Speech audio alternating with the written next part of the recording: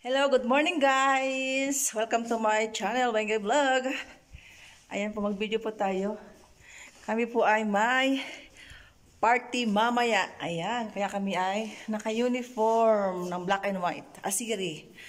Assyrian. Yan po si Monina. Ayan. Happy birthday, Monina. Yan. Birthday po ni Monina ngayon. 44 years old na po siya. Yan. Happy birthday, Monina. Ayan. Di po ba?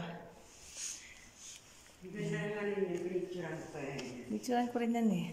Ah, di po ba? Ayan. Pong aming, may party po kami mamaya. Ayan.